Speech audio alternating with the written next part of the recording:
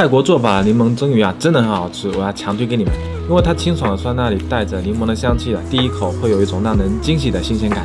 在一条鲈鱼的伤口上撒盐，给它喂饱姜片，再把它放在垫有葱姜的碟子里面静置十分钟。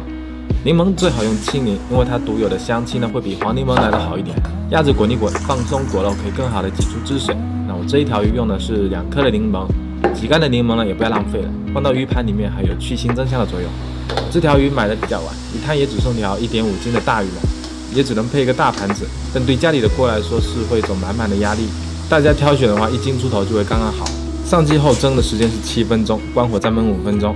期间准备蒜末、红葱头、小米辣和香菜，香菜和蒜末的量可以多一点。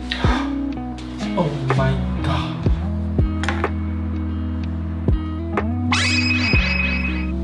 起锅，把柠檬汁用滤网过滤一下果肉，再少来一点清水、一把白糖以及泰国菜常用的鱼露两勺就行了。